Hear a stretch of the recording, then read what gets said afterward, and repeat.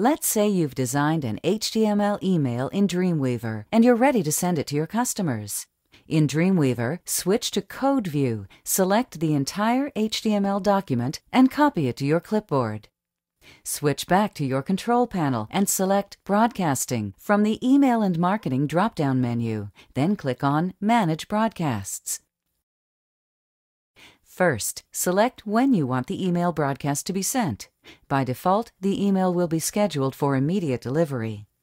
Then specify who the email will be coming from in the From Name and From Email fields. Enter a subject.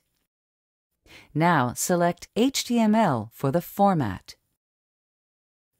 Once the screen refreshes, you can select who you want to send this email to. You can select from specific customer types, contacts subscribed to an autoresponder, previous stored searches, or a newsletter series.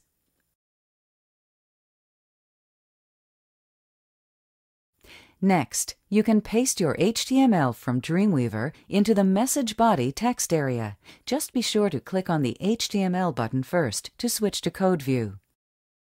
Don't forget to select all of the HTML already in this section before pasting.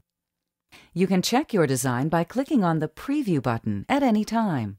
Remember, if you want to make corrections, make them inside Dreamweaver and repeat this process, because that's where your original email message was created. Once you're happy with the look of your email, be sure to check your content using the Spam Assassin database. Don't forget to check your entire message for spelling errors or punctuation mistakes. Finally, make sure you have specified a proper signature. Then press the Save Draft button to save your work for later, or press Continue Broadcast to send your email right away. You will have one more chance to review the message before it is sent.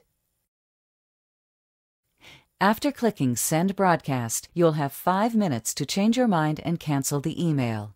To do so, simply click the Cancel Job link from the Job Status screen. This is also where you can view the status and delivery statistics on your broadcasts.